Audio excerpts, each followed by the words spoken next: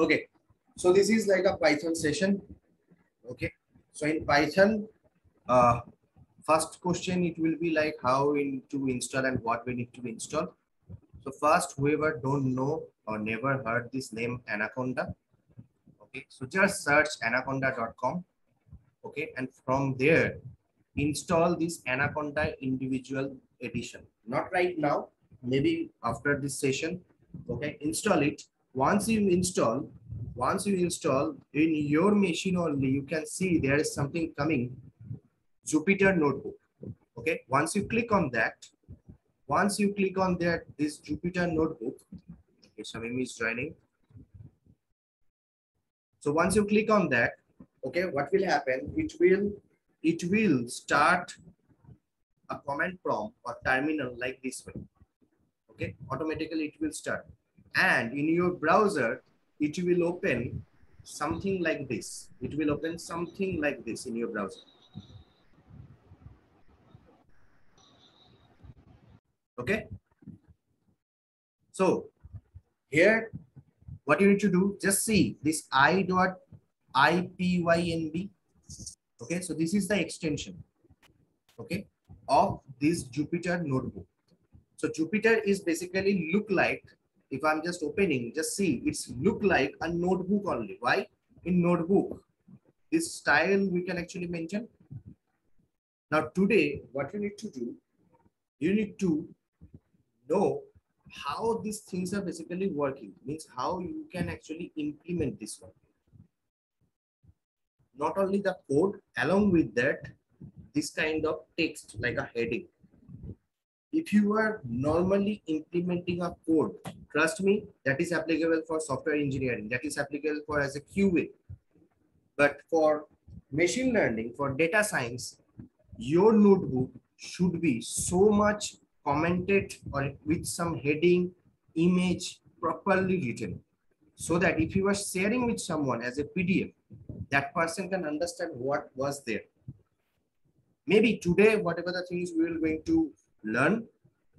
Here it's not actually required, but from EDA, from the next session, your documentation, it's so much important. So in your assignment also, if you are writing only code, trust me, your assignment is failed. So documentation is also required. How? That we will see once we actually follow up with this thing. Okay. So what I did, it's open like this way if you don't have any I2I NB file previously created, so just click on this, okay? And click on like a text file or notebook icon, Python 3. So once I click on this, it will give me one notebook, okay? It create one notebook like this way. And over there, I will write. So first thing today, what we are going to learn that is NumPy. So NumPy is basically a package or library from Python. Okay, and whatever the thing we're going to learn, we will mainly focus, mainly focus on array, vector, these kind of things. Why? Because if, okay, just think like if there is any image, you know that image is constructed based on RGB, correct? Red, green, blue color, three colors are there. So each color is holding from zero to zero to in between of 255, correct? Now, if that, that particular pixel is representing three value, so that's basically an array of a pixel. So like this way, it's very much important whenever you are actually focusing on this array system. Now we will learn what is array, what is vector, what is scalar, how things are working. Now, before that, let's start. I just, okay, so this is how I need to actually import NumPy. You no need to install again, correct? Okay, like a, uh, you no need to install separately this NumPy library. This all included, this NumPy, Matplotlib, then Panda. Panda we will also going to see. This all are included within this Anaconda, what you just installed. Okay, so you no need to install separately. You need to just import it. Okay, and I'm giving alias name like np for NumPy and plt plot for this matplotlib. Okay. So what is the difference? Now you can ask me in Python also there is array. correct? So there is totally pointless to implement another library like NumPy. The point why is so? So what I need to do, I, I will write like this way. I will click on run. So it's run actually. Now I'm writing again like NumPy. This is meaningless. I no need to write again because I already hold that. So I will just run this one. See, this is my normal array. Okay, so this is my NumPy array and this is my normal array. Okay. Now, what is this? A range. Okay, now this is very important. Before you do anything, just remember one thing. If you press double time D, that means you are deleting a particular, a particular cell. This is called cell. If you pressing double D, so if you are deleting. If you are pressing B or A, so that's mean you are inserting. So this is like a shortcut.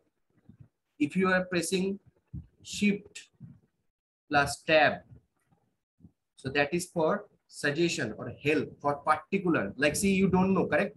What is NP arrange? Correct? So for this, we will use shift plus tab so that we can see like what is the library function, what is the other parameters there.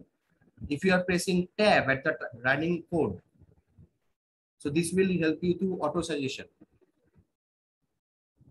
You can do everything over there. Okay, another part is there that is control plus shift plus P. If you are using Mac, so it will be CMD. Okay, CMD plus shift plus shift B, P. So if I write just doing like control plus shift P, see, this is a comment group, whatever the comment is there. Okay, so maybe it will be difficult for you for the time being at this point, but once you are used to with this one, so make sure, but your for your speed up only I'm doing. Now, just I'm pressing shift tab. See, I press shift tab. Now it's showing. This is the doc, a range. Okay, where is the start? Where is the stop? The step, and this type is basically none. Return evenly spaced value within a given interval. So I'm just creating a range, nothing else. I'm just creating a range, a simple range. Okay. So if I'm doing a simple range, okay, through NumPy and a normal array like a list. So we can do both. Now, here is the difference. If I am running a timer, like to want to check like how much time it will actually taking to do this multiplication okay, or do this multiplication, whatever.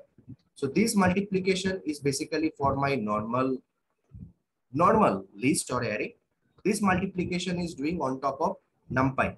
So just think, this code is so simple to write, but this code is little bit of problematic because you need to use for loop over here also. Now, how you need to write this part, don't worry about that. Just check blindly. Like this is so much less code. This is so much extra code is there. Okay? Now if i'm running this code see numpy took 34 milliseconds to run this operation. And this normal list of the python it took 1.46 second that's why numpy library is so fast because their algorithm is totally optimized Okay. Now let's come to multidimensional array. So normal array, you can define with the third bucket only. So this is same as you all know. Now this numpy array over here, if I want to generate some random data. Okay. So simple, numpy already have one uh, function that's called random and this RADN. Okay. Again, I'm pressing shift tab, just see return a sample for the standard normal distribution. Now see the things are started. I told you guys, correct? max is so important. Now the first question is arise like standard normal distribution. What is standard normal distribution? Okay. Don't worry about that. Just think set a total set in your mathematics, in your Venn diagram, just think a set is basically a standard normal distribution, a part of data that is sample. So it's taking that sample data only in between of two or three. It's a range in between two, number two to three. It will take the range. So how it's actually doing? So two and three, basically I'm creating a multi-dimensional, correct? So again, you can think this is like a row, this is like a column. So row is like a this first row and this is like a second column. Okay. And it's creating a some random value over there. Now, after that, if I need to do some multiplication or like addition, we can do easily like this way. A normal, simple, normal way only. If I if I'm actually writing this way, so let's see. Uh, I am just deleting this one. So let's see what is the shape. Only shape. See, shape is coming like 7, 4. Shape means what is the dimension of that array. You all know, correct, array. So I'm just guessing you all know array. So one message came. Yeah, absolutely. That that word I'm actually not not right now mentioning because it will treat something else that I will come. Okay. So you know array, correct? In that array, just think if that array is basically two-dimensional array. Two-dimensional array means there is row, there is columns. Correct? In three-dimensional, there is row, column, and another depth is there. Like if you treat like height with depth. Now just think that array, that array we can define as a matrix as well. M into N matrix that we all know. So this is the thing we are basically just creating. Now creating a ND array. ND array means basically n dimensional array. So there is no limit. We can create n dimensional of array. But point is why we require this kind of things, correct? Means why we are actually discussing this ND array and all, why we are learning. Think, if you are doing a simple, a simple, a single digit. So we, we can say this is a point, correct? So this is, we can say point is one only. Nothing is there, only a single point. If we are creating m cross n array, so that's mean if I say like 2 cross 2, means row is 2, column is 2. That's mean four points are there correct? This is 2D. Now if I'm saying 2 cross 2 cross 2, that's mean here is 6. Correct? So not, not 6, 8. Now think, if I'm saying you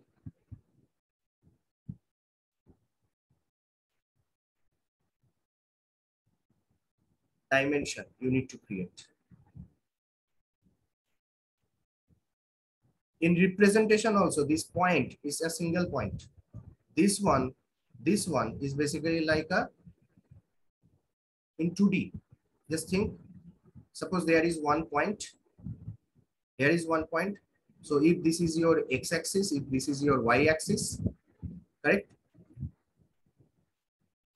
This is your origin 0 comma 0 so in x-axis maybe this is 2 maybe in y-axis this is 3 so the point of this point is basically 2 comma 3, correct?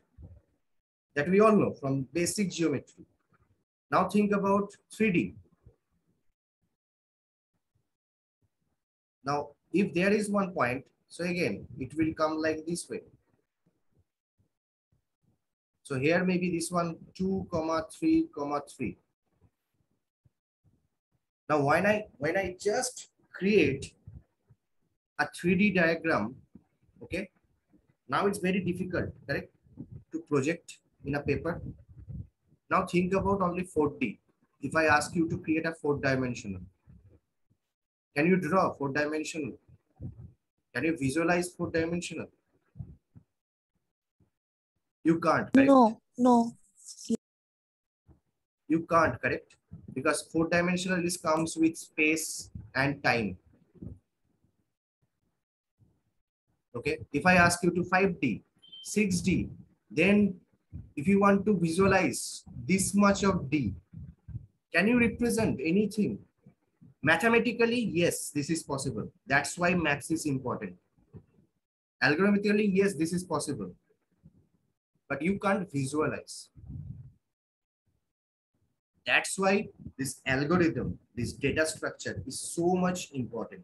This linear algebra, what you are going to learn in the next session, that is so much important because what you can't visualize, but you can compute.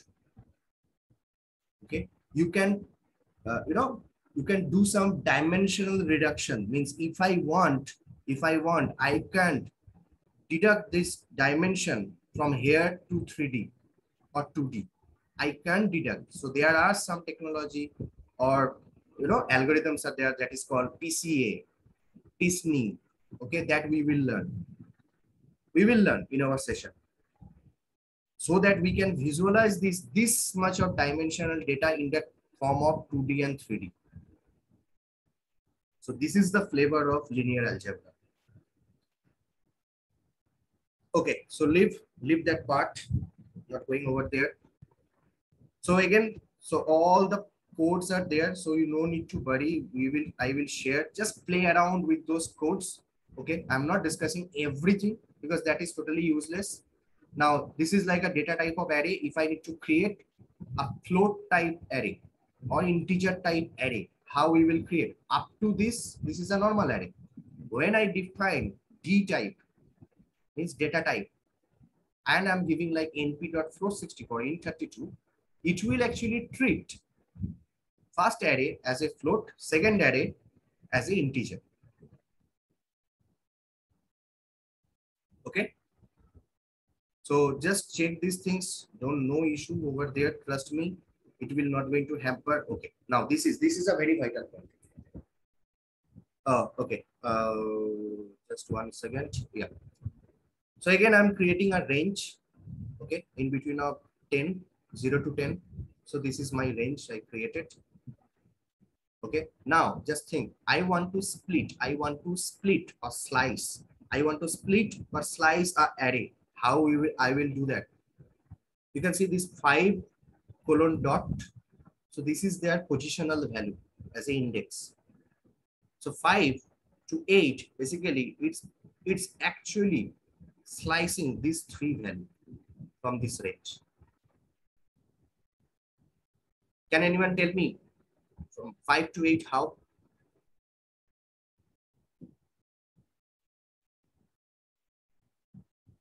Fifth position and the last uh, means uh, last after the last value means eight put five six seven and yep. eight yep. like in J, J javascript there is slice like that yes absolutely means it will start from the first value that is five and the last value before last value it will split okay so 5 6 7 these three value is 12 12 12 so we are slicing Got my point? Now, if I need to add, if I need to add another value from that slice, in that slice, I assign in a different variable, ARR underscore slice. So in that variable, first position, that is this one, I'm changing the value with this one. Correct? Now, if I am showing the full array, obviously it will replace. So now it's, I am started playing with those vector. Okay, if I treat this is as a array or vector, yes, I started. Now, if I'm just giving like this way only, simple, only colon, there is no start and end limit. Then what will happen? Whatever, because in ARR slice, I have three value, correct? So with this 64, all the three values will be going to replace. Previously, there was 12, 12, 12. I replace one value with 1, 2, 3, 4, 5. So it's showing now, if I'm not mentioning anything in this slice value, obviously it's replacing all the values with this one. Correct? So up to this is clear. This is very easy, but you need to understand. Now, this is like another form. Wait, wait, wait, no question. I, I told you, no question in the during session. Okay, now just think this array, okay this array having like uh, what kind of array this one this is a normal array but it's having like three row three column correct this array, three row, three column, but its position on index two, it's basically saying which one? Zero, one, two. So this is if this is the position, so obviously it will return seven, eight, nine. So I ask for this second position, is returning in the second position. Cool. I can call like this way also. See, like zeroth position, zeroth position in where we have one, two, three, correct? Or zero, one, two. Now, in between of this one, in between of individual one, I have zero, one, two. So that's mean as a whole zero, one, two. So I called this one zero means the first one, first singular array, this one. And I called zero, one, two means this one. Correct? So it's returning me three because here is three. Correct? So if you want to, if you want to see, just think like this way. One, two, three, four, five, six, seven, eight, nine. Correct? So this is your zero position, one position, two position, zero, one position, two position. Correct? In a matrix. So what is this point? So this point is basically nothing, zero comma two. Correct? So zero from this side, two comma this side. So that's what I actually ask over there. And is returning in three. See, this is the three. Okay. The same thing it will happen if I am actually doing like, uh, you know, Uh, 3D array also. I can do the same way. I'm not defining. This is because the same thing. Okay.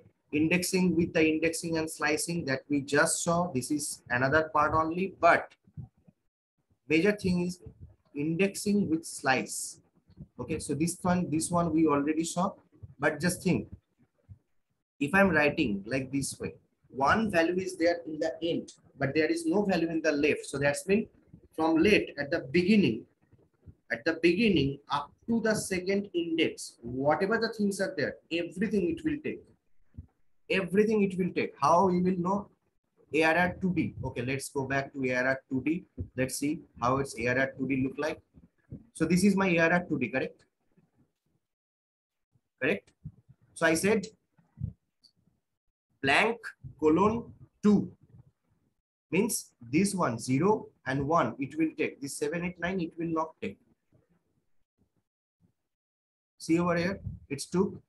1, 2, 3, 4, 5, 6, 7, 8, 9, it not 2 because I given over here 2. If I given over here 3, then what will happen? Let's run. See, everything is came. But if I'm just writing, don't worry about these values because in between of multiple things we did. So that's why values are changed. But the concept of basic slicing is like this way only. Okay. Clear? Now, we have like three values, correct? We have three values. If I want to split individual array with two value, not like three value, then we can define like this way with extra one parameter. I need only two and three. See?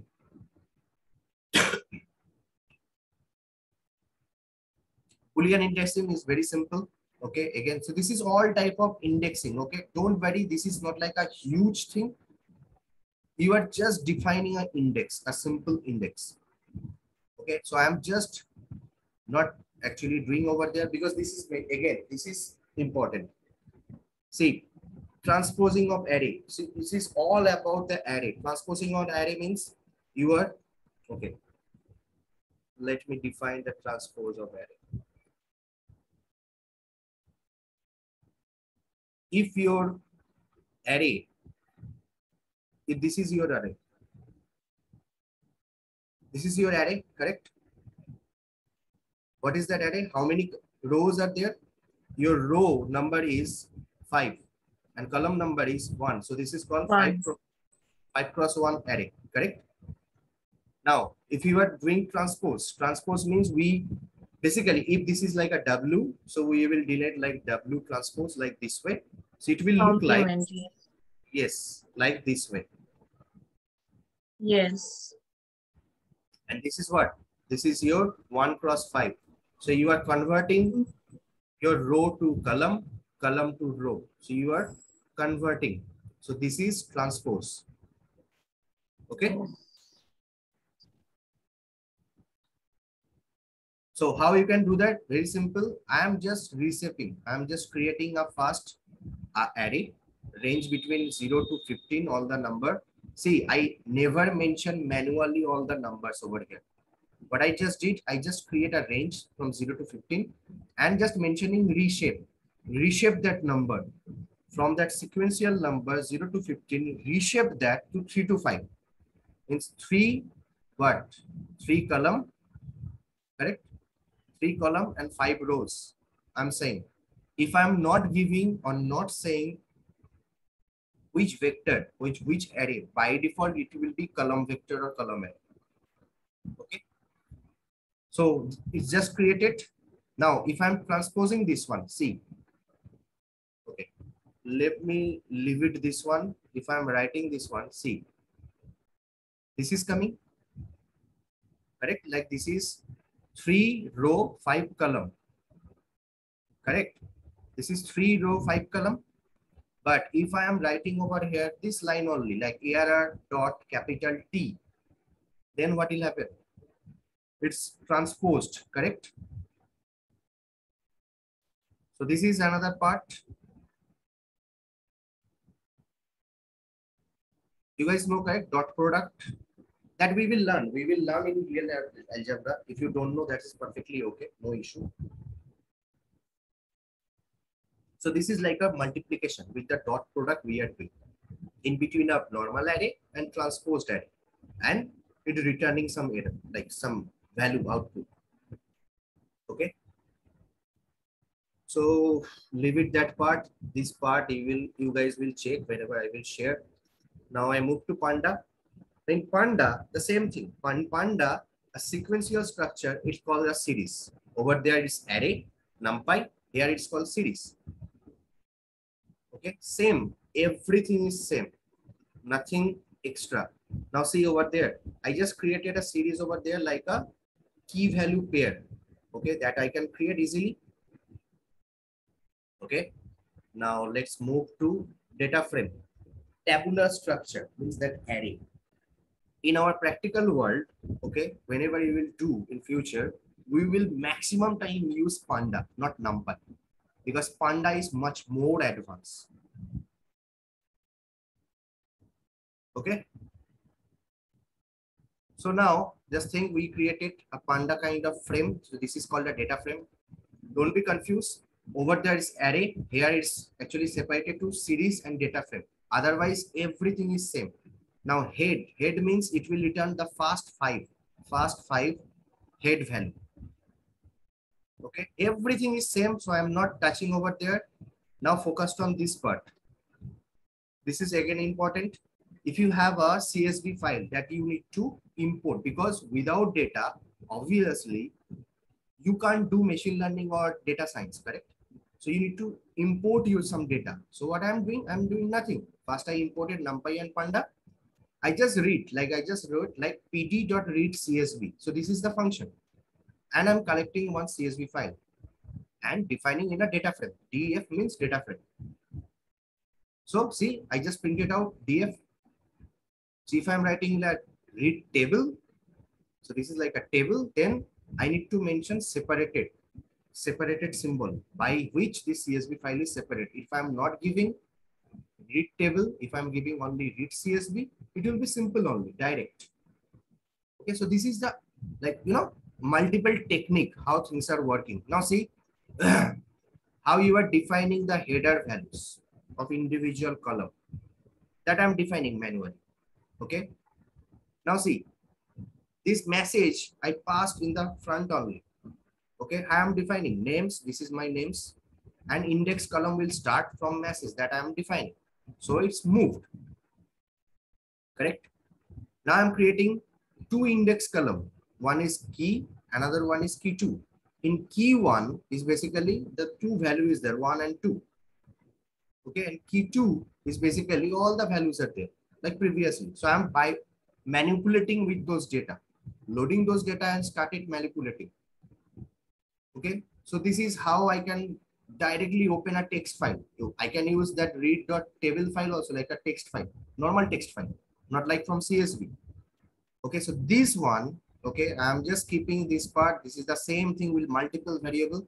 How you can create, you read that, correct? Now, if you want to create or write something in a text file or like a CSV, how you can do that? So this is the code. See, you need to just write. Okay, so this is this sys import sys is basically a system function of this Python library. Using this sys, you are basically calling two CSV function and you are writing stdio out. If you know Java, you already learned like standard output. We have like this standard output device. So we are using standard output device and using this pipeline, we are writing some file in our storage. Okay. So this is like working with delimited format. So delimited format that we already saw that comma and all. Okay. So I'm not touching over there. You can deal, you can deal with this JSON. Like maybe your API is returning some JSON value. You need to play with this JSON. Simple. Just write import JSON that is already there in that Anaconda. Now you need to just write JSON that loads and you need to pass that object, what it's coming.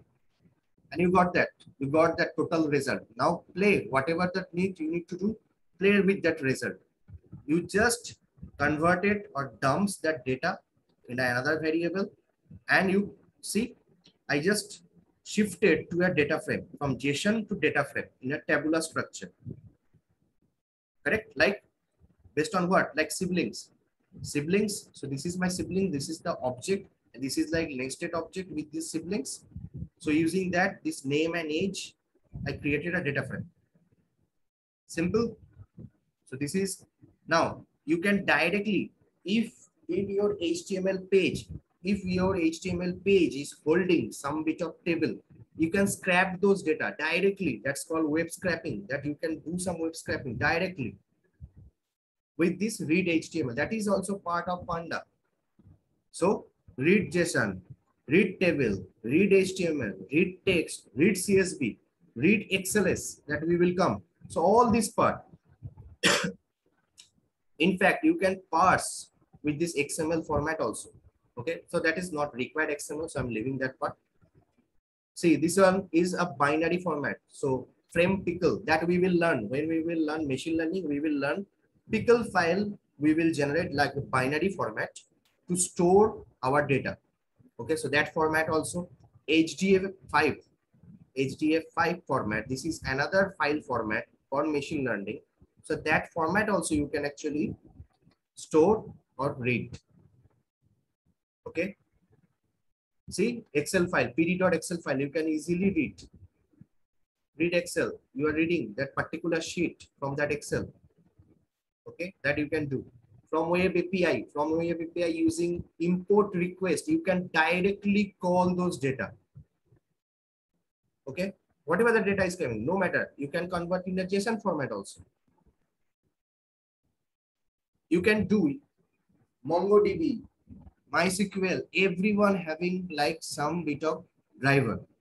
So you can directly play with those one also. Maybe you have some data that you need to play. You can directly play with those data. So this is the flavor of data loading through Panda. So now just think, first you learned NumPy, that's the basic array transformation you are doing. Then you learn Panda, where you are playing with those series and data frame. You are converting those data, correct? So that you can calculate. Another part is there for Panda. That is what? You can read some file because ultimately all those data you need to read either from database or you need to read from some file. Okay. So I'm stopping sharing. I have over here like four minutes. So let